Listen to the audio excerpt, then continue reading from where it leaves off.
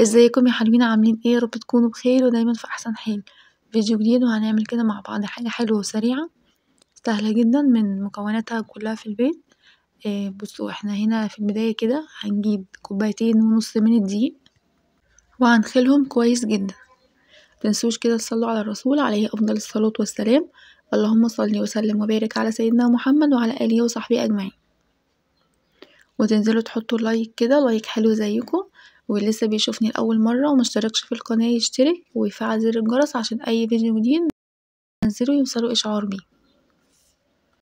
تمام؟ كده منخلنا كوبايتين ونص من الدقيق. هنحط كده رشة من الملح ذرة ملح بسيطة. وهنحط هنستعمل كيس من الكيك شيف. تمام؟ أو ال baking powder يعني المتوفر عندك. هنخلهم برضو كده. إحنا مش عايزين أي تكتلات في العجين تمام؟ هحط برضو ربع كوباية من الكاكاو الخام الكاكاو خام ده غير محلى كاكاو أسباني غير محلى تمام؟ أو بالشكل اللي أنتوا شايفينه ده.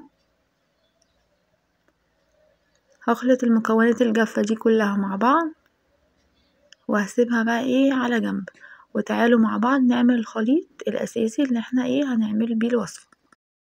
تمام كده هسيب لكم برضو المكونات والمقادير في صندوق الوصف أو في أول تعليق مثبت هتلاقوه.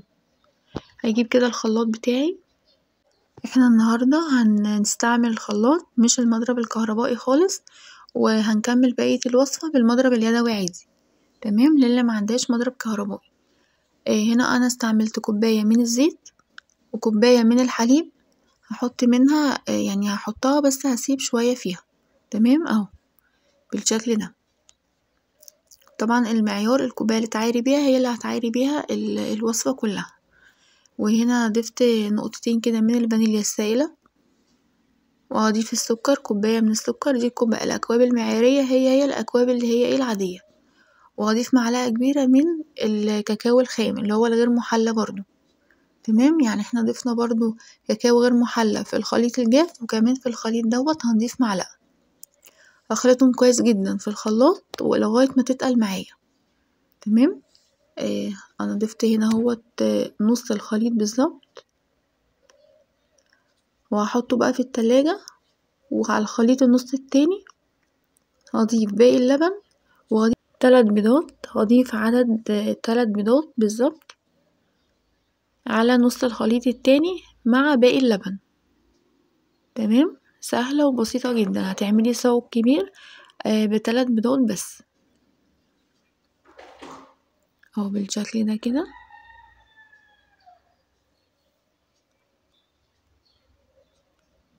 وهحط برضو فانيليا علشان حاطين بيض. هنخلطهم بقى كويس قوي في الخلاط. وهنجيب الخليط اللي إحنا خلطناه في الخلاط ده هنحطه على الخليط الجاف بتاعنا. تمام؟ أهو بالشكل ده وهنستعمل المضرب اليدوي. عادي خالص.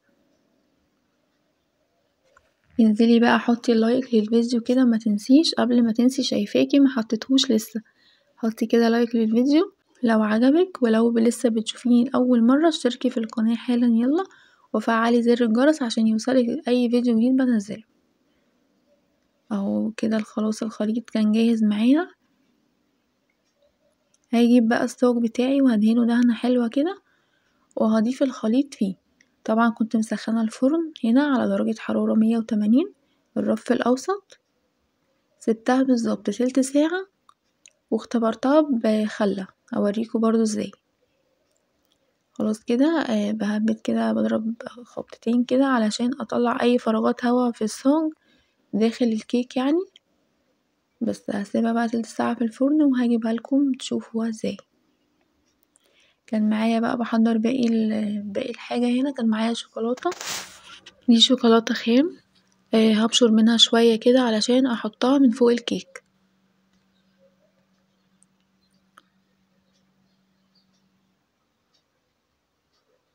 أهو بالشكل ده كده. خلاص عملت حبة سبتها طلعت طبعا أهي من الفرن. اختبرتها كده طلعت نضيفة الخلة فكده يبقى استوت تمام. إيه هعمل كده اخرام كده أهوت في في الصاج كله. جميع الجوانب كده هعملها بالشكل ده. طبعا هديت معايا. هجيب بقى الصوص ده اللي إحنا عملناه وقسمنا نصه في الأول. هحطه من فوق الوش. بالشكل ده كده. كأنك بالظبط بتاكلي جاتوه مش كيك. بجد طعمه حلو جدا. جربيه الطريقة هتعجبك. وتقدري طبعا تعمليها في صينية صغيرة. تقدري تعملي نص الكمية مش الكمية كلها على حسب طبعا الرغبة بتاعتك.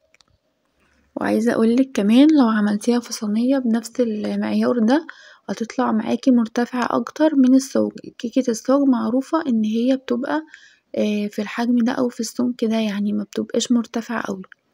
بس في نفس الوقت بتبقى هشة برضو حلوة وطالعة زي الفل. بس كده وهنا هجيب الشوكليت اللي إحنا بشرناه هحطه من فوق الوش. أنا حطيت كده منه شوية ولقيت يعني إن هو مش كفاية فضفت كمان شوكليت تاني. chocolate chips هوريهولكوا إن أنا ضفته برضو من فوق الوش قبل ما أقطعه. أهو ده للتزيين حسب الرغبة ممكن متحطيهوش خالص. تمام؟ اهو كده بالشكل ده. ودي كانت الكيكاية معايا بالظبط اكنها يعني الطعم أكنه جاتوه بالظبط من برا بتاكليه. هنا هقسم بقى كده.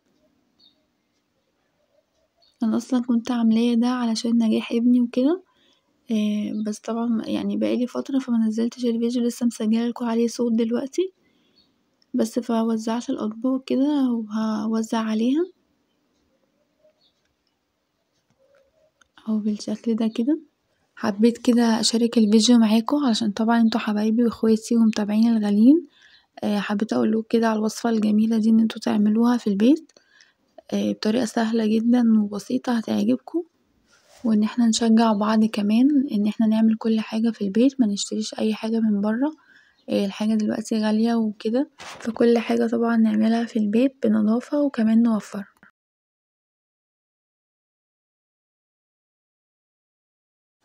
بس كده وده كان فيديو النهاردة. متنسيش بقى like و share و subscribe للقناة وتشجعيني كده علشان أنا أكمل وانزلكوا سلسلة فيديوهات تانية. وربنا يارب ينجح كل الولاد وينجح اولادكوا يارب ويبارك فيهم. بحبكم جدا. هكتبلكوا المقادير في صندوق الوصف أو هتلاقوه في أول تعليق مثبت أشوفكم في رعاية الله في فيديو جديد. مع السلامة.